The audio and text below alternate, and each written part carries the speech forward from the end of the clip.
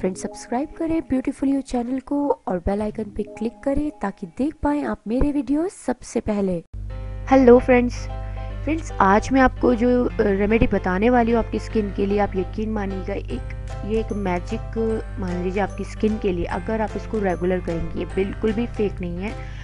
बिना यूज़ करे कैसे किसी रेमेडी को फेक या फिर सच बता सकते हैं? आप इस्तेमाल करें जैसे आपको बताया जाता है वैसे।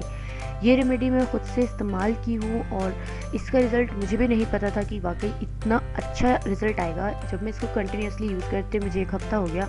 मैं एक थे हमारे मिलने के लिए उनके यहाँ जब मैं गई और मैंने अपना चेहरा उनके यहाँ लाइट में, रोशनी में देखा तो मैं चौंक गई। बिल्कुल कोई स्किन पे मेरे निशान नहीं रह गया था और जो ग्लो था वो आप सोच नहीं सकते। तो स्टार्ट करते रेमेडी और जैसे बताऊँगी आपको वैसे ही यूज़ करना है। चलिए, लिया है मैंने एक टोमेटो जैसे कि आप देख रहे हैं, इसको हाफ़ कट कीजिए और इसका सिर्फ़ और सिर्फ़ आपको जूस निकाल लेना है। जी हाँ हमें इसके जो बाहर पील है, उसकी कोई ज़रूरत नहीं है। आपको जिसके अंदर जूस है, वो निकाल लीजिए।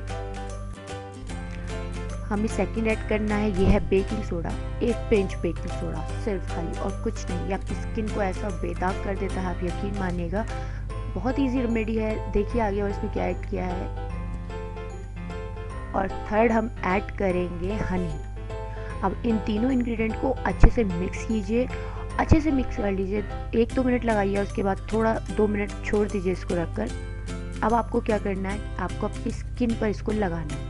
जैसे कि मैंने पिक्चर में दिखा रही हूँ आपको या फिर आपको दिखा रही हूँ अपने हाथ पे कैसे रब करना है। आपको अपनी स्किन पर इसको ऐसे लगा के नहीं छोड़ना है। ये ऐसा पैक नहीं है। आपको इसको स्किन में घुसाना है, बहुत अच्छे से रब करना है ताकि पूरा इसका जो गुडनेस आपकी स्किन में चली जाए। फिर आप अपनी स्किन पर इसको बीस मिनट के लिए छोड़ें। और डेली करेंगे तो आप फीडबैक देने खुद आएँगे। वीडियो अच्छी लगी हो तो लाइक करें और चैनल सब्सक्राइब करना ना भूलें। Thanks for watching bye bye